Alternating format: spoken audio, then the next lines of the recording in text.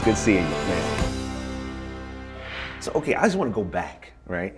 So, I remember when we first met uh, in that meeting in Fox, and you know, one of the things that struck me was just you know your humility, uh, and just like I'm like, wait, is this is that how has that always been you know your approach, or is that just natural? It's always been my approach. I had been blessed with great parents. Obviously, that kind of set me on my mm-hmm. way early. We could never get too big-headed about anything. right. Um, I grew up. Obviously, my dad played professional basketball for 16 years, so I was around kind of the life that I live now and, and the industry that, that, he was in. So I learned from from him how he handled, you know, fan interaction, how he was a professional in every way, mm-hmm. shape, or form of, of how he carried himself, and that rubbed off on me and my, my siblings right. uh, well. And I've tried not to stray too far from that in terms of uh, no matter what happens in life, I try to stay as even keel as possible, knowing uh, everything is a blessing. Everything that uh, mm-hmm. I do, there's, there's no accidents in life, but I'm, I'm, I'm you know, in this position because uh, you know, I've been blessed with, with talents and the perspective that uh, yeah. I'll be able to handle all of this, this, you know, the success and the failure. So right, they, right. they set me on my way for sure. Got it, got it, got it. I was just, I mean, clearly they did because you know, having known of you but not knowing you when we had that meeting, it was like, wow, you know, bringing that humility when you're the most one of the most recognizable people in the world but you don't wear that, you know. And I've been in Hollywood for 20 years, so most people who have done a fraction of what you do wear that. So mm-hmm. I thought mm-hmm. that was pretty amazing. Well, when did you get the idea of like, I want to move into entertainment? I want to start making films. What, what what transpired and what gave you that idea to say, you know what, now's the time to do it? I mean, the genesis of pretty much anything I do is to try to inspire and mm-hmm. finding different ways to, to reach the masses, to use the platform I, that I have to kind of you know, share the, the core values of who I am as a mm-hmm, person. Mm-hmm. And so um, when the idea and the kind of uh, approach that we wanted to have in terms of uh, the media space and getting into mm-hmm. film, uh, we wanted to do it the right way, stay true and authentic to who I am and what I stand for, and find projects that I, I really believed in and, get, and, could get behind. Yeah. Uh, not just as you know a face or, or just because, but there's a reason and a, and a mission and a perspective behind it. And so, yeah. obviously, you're only good as the people that you put around you. Mm-hmm. Um, and I have a great team that that. Uh, has kind of helped me yes, you, you know, get that get that far. One of the best teams going. For I, sure. I, I, know you know, That's I'm right. It know. happens. That's kind of how I approach on, on and off the court. Yeah, in terms yeah, of yeah. obviously I want to bring something to the table and know from a leadership perspective. But again, you're only mm-hmm. as good as the people are, are around you. You yeah. be able to grow together and, and go through different experiences. And obviously, um,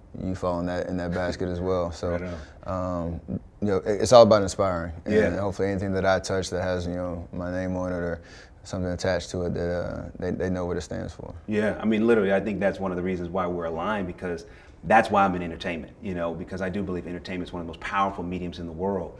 And if we can use it for good, mm-hmm. the change that can happen in the world, uh, you know, is just uh, exponential.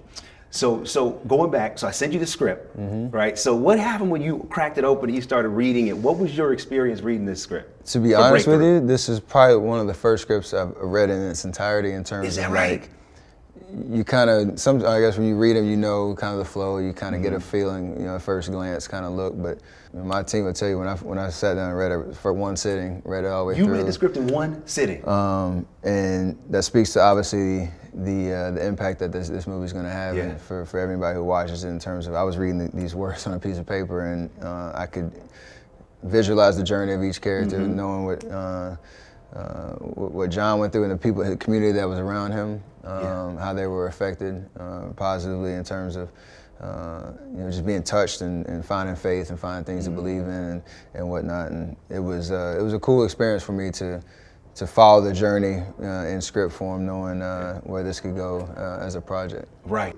So um, in sending you the script and you, and you reading it in the first sitting, what kept you turning the pages about this story? Mostly was uh, John's mom, Faith, first and foremost, how bold she was mm-hmm. um, in terms of obviously when uh, she goes to the hospital and, and, hears basically all the bad news that's being yeah. sent to her uh, about uh, the prognosis of, of, her son's chance of living. Mm-hmm. Um, she wasn't taking no for an answer because of her belief in God and knowing that uh, you know He can do miracles and He can do powerful things. Mm-hmm. Um, I was I, I, was really drawn to that. I have a very strong mom as well who mm-hmm. instilled my faith in me, mm-hmm. so I could kind of connect to that as well. My mom was, did the same thing with, with the belt though. Trust me, there was a little bit of that, a little bit of that. I know that's not PC these days, but there's a lot she's like, you gonna get this faith in you. I got a lot of that, a lot of prayer. My f- kind of fun stories are growing up. Uh, I'd be asleep in my room, probably between like 10 and 12, 13 mm-hmm. years old and you'd wake up to a, a, hand on your forehead, and I'd hear whispering, and my mom was praying over me in my sleep. Wow. And like when you have that happen, you don't know whether to wake up or like to just say like anything. Just, I, I, I, know what's going on, so I'm just gonna you know stay quiet, stay still, and, right. and understand what she's uh, she's praying over my future and over wow. my my well-being. But like in terms of having a, a bold mom that. Mm. Uh, that kind of instilled that faith in me sure. uh, for and, and, planted the seed. Yeah. Um, obviously, I had to find that out for myself, but mm-hmm. um, I could connect with that, you know, extremely well. Um, and yeah, it was just just a powerful testimony to to faith. Yeah. To be honest, and that's something that, uh, that I gravitated towards. And so, you gravitated towards it. You put it down, and then you were like, "Okay, I'm in." I want to do this. It took one phone call with my team, and they asked me, "Hey, how'd you like the script?" And I'm pretty sure they were shocked at how uh, excited I was about yeah. it. Um, but yeah, try to find a way to uh, to latch on, mm-hmm. um, and, and, hopefully, uh, you know. Not latch on, man. You know Part, partner mean. up, yeah. Partner up, yes. yeah. Um, and, and find ways to again help use this story uh, to inspire. Absolutely, yeah. I mean, listen, when I got the call, I was like, what? Are you serious? It was cool because it was on the heels of our, our, yeah. our meeting at Fox. Yeah. And so um, I, I could tell by your energy and, and any project that you get behind, there's got to be a good reason for it. Oh, and, yeah. and that, we didn't talk about it before I read the mm-hmm. script or anything, but in terms of like knowing uh, who's behind, you know, the project and understanding uh, full integrity in terms yeah. of bringing this to life, that was I, I, could get behind that. Appreciate that, man. Yeah, definitely. I mean, what spoke to me was your desire to do faith your desire to do sports, and your desire to do family. Mm-hmm. And literally after that meeting, I'm like, well, I'm getting ready to make breakthrough. what do you think, man? And speaking of teams, because you've mentioned it, you know, quite a bit uh, in the story, it even though it was Joyce's prayer that you know started the was the catalyst for John's recovery, it did take a team. You know, it took the pastor, it took the firefighters, it took the community, you know, praying around John mm-hmm. and really rallying around his success. Um, why is teamwork so important to you? Because in your life, especially also your profession, you seem to value that uh, almost more than what's good for you. It seems like you're asking what's good for the team. Why is teamwork so important to you? It's something that I've, I've always just appreciated in terms of it's not always about me. It's not. It never really is about me. Mm-hmm. It's about mm-hmm. obviously I, I, know what I'm capable of and what I can bring to the table. But um, again, nothing that you do in life you do alone. Nothing sure. successful you do, I should say. That's true. Um, and it, having an appreciation for the value in others, um, mm-hmm. I can learn something from the person next to me, on my right or my left. They can challenge me. The, the sense of accountability mm-hmm. um, is how you grow. Um, and, and, for me, that's where you really make memories yeah. in terms of I could do all this stuff by myself. If I have nobody to share it with and nobody to kind of go back and say, hey, look what we did, mm. I don't think there's any value in that. And yeah. so um, I've always had that perspective from middle playing AAU baseball and basketball yeah. uh, all the way through now with, with, in, the prof- in the NBA, really understanding that there's so much good in the collective. Sure. And I, I, I value everybody that, that's a part of that, that uh, equation to to uh, to achieve success and achieve great things. Because again, when you when you come together and you have a collective goal in mind, that journey is is the best part about it. Mm-hmm. Um, that's mm-hmm. that's the part you talk yeah. about. You don't really talk about, hey, remember when we were on the podium and we were holding that trophy? It's like, no, nah, remember yeah. uh, all that work we put in the off totally. season. Remember the the five games we lost in a row and we had a t- you know a players only meeting. We talked about it. We mm-hmm. figured out how to get through it. The ups and downs, all that. Mm-hmm. That's the part that I, I really. That's the part. That's the stuff that you remember the Mm. most. And so for me, it's always been I haven't had a, a, hard time sacrificing for that. Right, right, right. Well, some do. So it's, it's definitely unique, and I think it's fascinating that you know your own personal belief in teamwork is mirrored so closely, you know, in the film, and that's also kind of what inspired you know for me to want to say, hey, Steph, let's do this because I do believe it's about team. I do believe, especially in this space, when it's about you know how do we get inspiration to the world. Mm-hmm. You know, we're we're stronger together than we are apart. Uh, and so I felt like on a film like this, you know, building a strong team, you know, between ourselves and our director Roxann, our other executive producers, Pastor Sam Rodriguez and Chrissy and Topher and the whole cast, like, you know, let's stack the deck, uh, you know, for as much success as we can, so we can get a breakthrough. That's it. I like you know that. what I mean? I like that. Um, speaking of breakthroughs, that. okay, so the movie's breakthrough, right? Yeah. So this this is I'm curious to see how, um, how you respond to this and what this feels like. There are a lot of people, you know, that may see this that um, are struggling in life and, and trying to go from where they are to you know where they want to be. Um, recently, you you had a breakthrough performance on the court, 51 points. You know, I mean, you know all the stats. What does it take to produce a breakthrough, and how does it feel when you're in that moment? Uh, how much is in your control or out of your control? Ah, man, it takes patience um, and it takes a, a commitment to whatever the disciplines. And so for me, you talk about that game, 51 points, everything's clicking.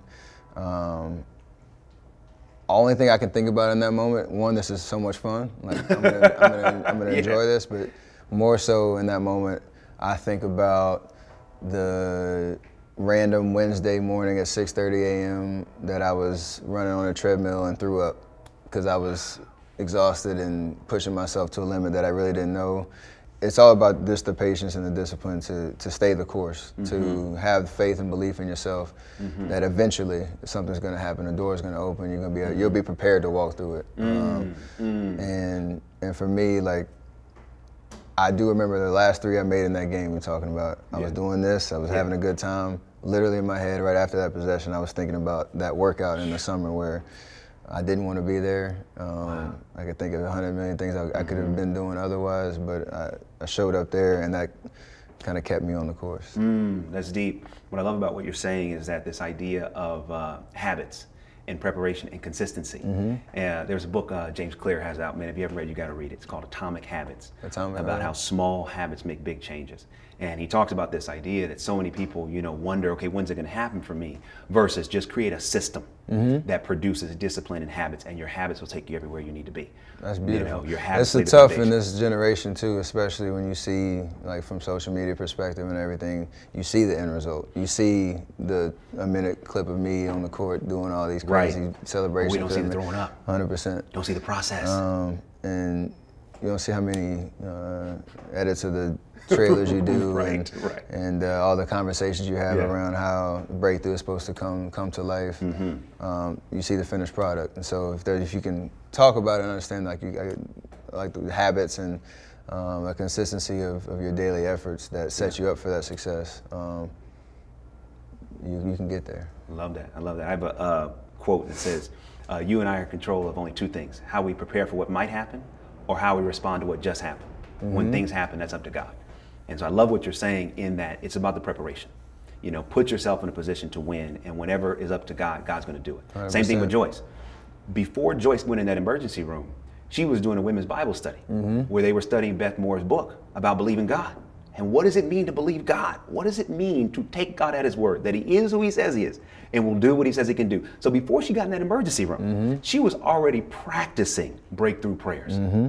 What role, you've been so vocal about your faith, what role does faith play on a day to day basis for you?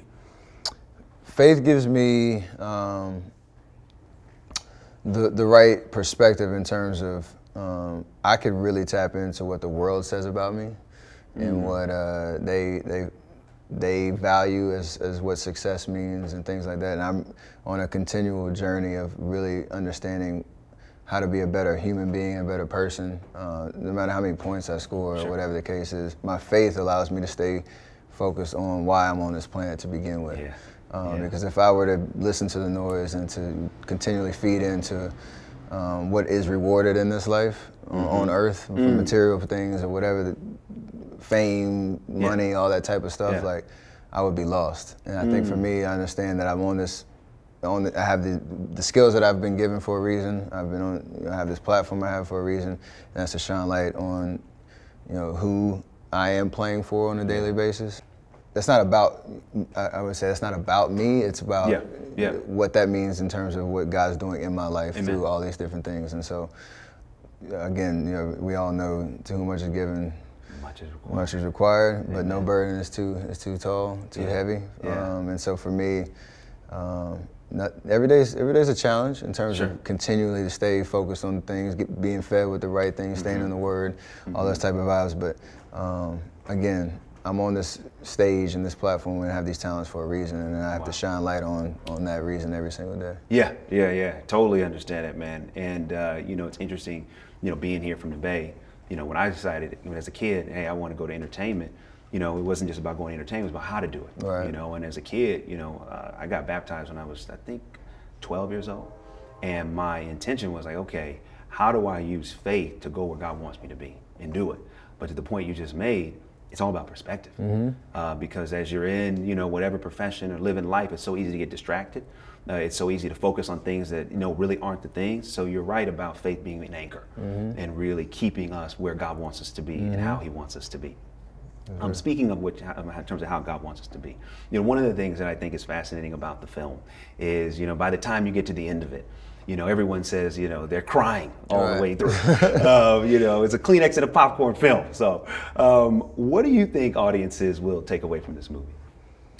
I think first, no matter kind of where you come from, no matter you know what your your faith or what your experience in faith is, or who you believe in, or whatever, there's somebody in this movie that you can relate to. Um, Again, it is a, an emotional tearjerker. There's something Yeah. you're gonna you're gonna be touched. You're gonna Yeah. uh, be moved by obviously John's story in terms and, and, and, his comeback and, and Yeah. the miracle that, that takes place, but the depth of, of how his story affects his community around him, um, I feel like is will resonate in terms of you know whatever's going on in your personal Yeah. life. It might not be as catastrophic as something that, Mm-hmm. that John's going through. But there's something that can test that's testing your faith. That uh, this movie will hopefully inspire you to, to again stay the course, to have that belief, um, rally around people you know that, that are in your corner. Yeah. Um, and just believe, man. I think that's the power in the community and power in faith is, is strong, and it's something that this world needs all through and through. Right. Uh, with the chaos that's going on in our world, so Amen. um, you'll be moved by this by this movie. Hmm. Uh, it's gonna be it's gonna be awesome. yeah, man. Man, appreciate you, man. No problem, Devon. Right on. Yes, right sir. on.